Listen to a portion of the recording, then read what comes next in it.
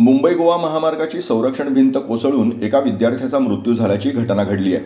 चिपळूणमधील डीबीजे महाविद्यालयाच्या आवारातील मुंबई गोवा महामार्गाच्या संरक्षक भिंतीच्या वर बांधलेला चिऱ्याचा कठडा कोसळून त्यामध्ये विद्यार्थ्याचा मृत्यू झाल्याची घटना आज उघड झाली आहे. सिद्धांत घाणेकर असं या विद्यार्थ्याचं नाव असून तो मूळचा दापोली तालुक्यातील देहगाव येथील आहे. सध्या तो खेड तालुक्यातील लोटे इथं राहत होता आणि डीबीजे महाविद्यालयात तो शिक्षण घेत होता.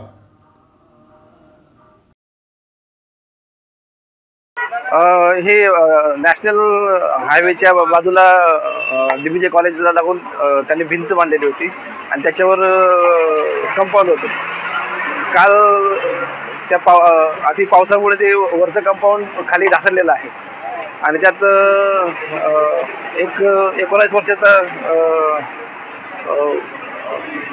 मुलगा त्यात मयत झालेला आहे. त्याला हॉस्पिटलला हलवलं आहे पुढील कारवाई करीत आहोत.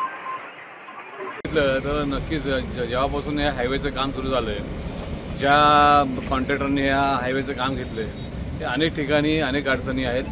मध्यंतरी बी ब्रिज पडून मोठा अपघात या ठिकाणी झाला आहे त्यानंतर काल परवा देखील यांचाच जे पिलर कटिंगचं काम चालू आहे त्यात देखील एक मोठा अपघात झाला आहे सुदैवानं त्या ठिकाणी देखील दोन तीन कामगार हे बचावलेले आहेत. आज पण आपण या ठिकाणी पाठीमागे वॉल वॉल जर पाहाल त्या या ठिकाणी पाणी निचऱ्याचं कोणती व्यवस्था या ठिकाणी व्यवस्थित नसल्यामुळे मुख्यतः यानंतर जी जांभ्याची जांभा जांभा भिंत जी वरती आली आहे ती या ठिकाणी कोसळलेली आहे.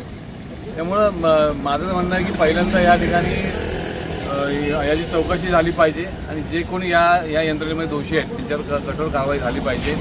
यामध्ये जर हायवे प्रशासनाचा जर हलगर्जीपणा असेल तर त्यांच्यावर सदस्य मनुष्यवादाचा गुन्हा हा या ठिकाणी दाखल झाला पाहिजे. आणि नक्कीच या ठिकाणी मी शिवसेना उद्धव बाळासाहेब ठाकरेच्या माध्यमातून आम्ही या ठिकाणी तीव्र आंदोलन करणार आहोत. कारण की गेले गेले पाच सहा वर्ष या ब्रिजच्या माध्यमातून या हायवेच्या माध्यमातून जे काही आतोनात हाल या ठिकाणी चिपळूणवासियांचे होत आहेत ते खूप दयनीय आहेत आणि त्याकरता नक्कीच आम्ही आ- आवाज उठवणार हे आपल्या माध्यमातून सांगू इच्छितो. काय नाव आपलं? मी विनोद सगळे शिवसेना तालुका चिपळूण.